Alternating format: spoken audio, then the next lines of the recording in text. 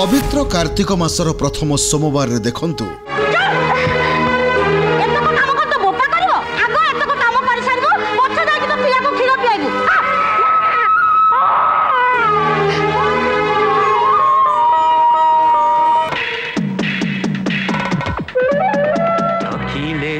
ରଖିଲେ ଶିବ ମାରିବ କିଏ ଆଜି ଅପରାହ୍ନ ତିନିଟା